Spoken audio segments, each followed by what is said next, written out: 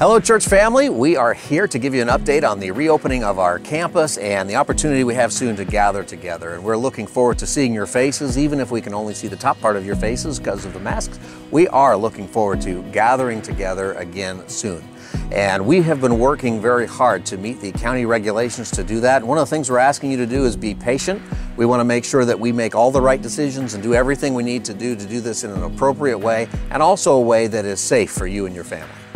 Yeah, as we've been talking as a staff, we, we want this to be a meaningful experience for you. And so I know that there are many out there right now that are struggling and, and you really want to be with your church family.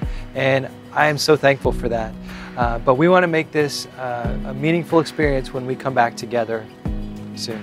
That's right. And one of the ways to make it meaningful is we definitely want to make sure that you understand that if we come back in the next couple of weeks or we have a gathering of one kind or another, we want to make sure that your expectations are right. The county has put a lot of different things uh, that we need to do as far as taking your temperature, doing a health evaluation. We have to have social distancing and have that marked out in a certain way. We also have to limit it to a certain number of people. If it's inside, it's not really a lot of people who can come at one time. And one of the things we want to avoid is just having to send you home because too many people came.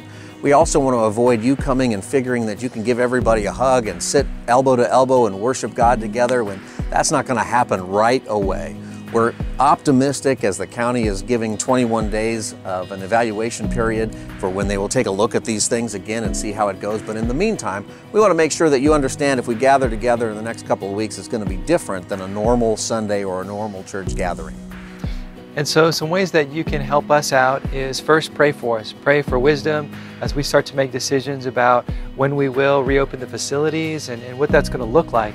Uh, but also we want you to take a survey. So make sure that you click on the link below and take the survey because that really helps us to know where you're at with everything because we want to hear your voice and be a part of all of this. That's right. So thank you for your patience all this time. It's been great to connect with you in so many ways that we can, and we're looking forward to seeing you in person very soon. Please take the survey. It matters a lot. Thank you, and God bless.